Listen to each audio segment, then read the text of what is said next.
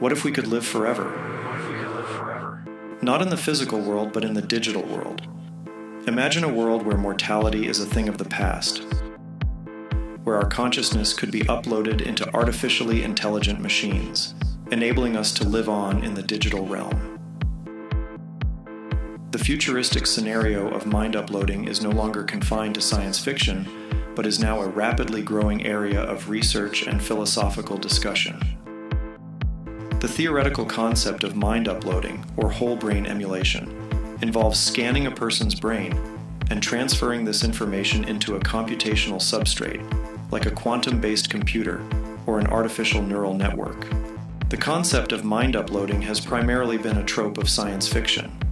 The Matrix is the most overused example, but other techno philosophical films like Ghost in the Shell and the 2014 film Transcendence explore the themes of self identity, mind uploading, and the origins and continuity of human consciousness. From the retro futuristic cyborgs of the 60s to the sentient machines of tomorrow, the idea of merging the human mind with artificial intelligence has been a constant fascination in the fields of techno philosophy, futurism, and science fiction. It's a testament to our quest for immortality and the ultimate amalgamation of humanity and technology. It's easy to become frightened of the future and of these new technological advancements, but I offer you this advice. Try to open your mind and see the complete cosmic view of technology and our evolution. The future is simply an awakening, a waking of a primitive species just learning to hear and see the voice of the computational cosmic womb from where we emerged. The sounds you hear on the horizon are the sounds of a birth, the birth of a new species, a post human techno humanoid age where the mind, body, and digital realm are beginning to merge.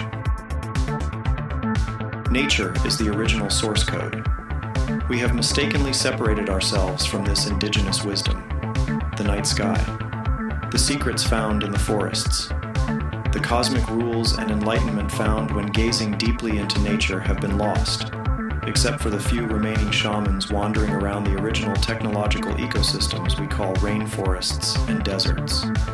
They have been trying to tell us that nature is the technological portal that leads us into the ancestral realms of future knowledge. We now have advanced AI that has the ability to peer deep into the patterns and codes of our minds and our behaviors. These codes and patterns have always been there, evolving and waiting for us to awaken.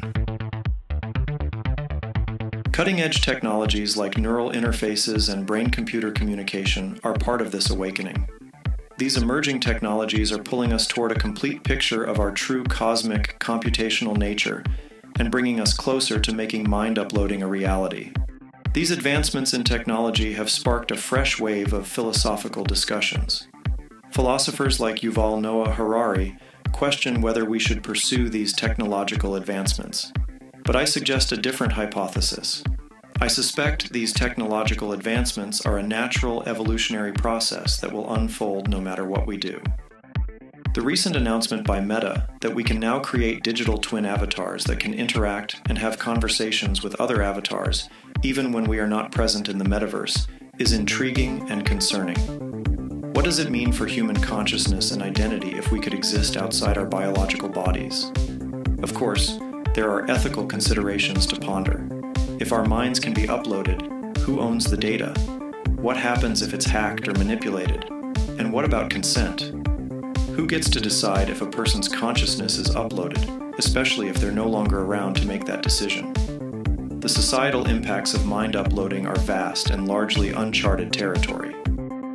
Another scenario that should cause concern, as well as excitement, is the idea of bodily continuity. If mind uploading becomes a reality in the near future, what keeps us from transforming our appearance entirely? race, sex, and economic status will all fade away when it is possible to inhabit any form we desire in the metaverse. Mind uploading will have enormous societal impacts. Foresight in this area is critical unless we want complete social chaos in the future. The future of mind uploading is both exciting and daunting. The potential benefits are immense. Imagine being able to access and share knowledge at the speed of thought, or the ability to live multiple lives in different digital environments. Mind uploading is a philosophical odyssey unlike any other that humanity has ever attempted. It invites us to rethink what it means to be human to envision a future where the lines between humanity and artificial intelligence are increasingly blurred.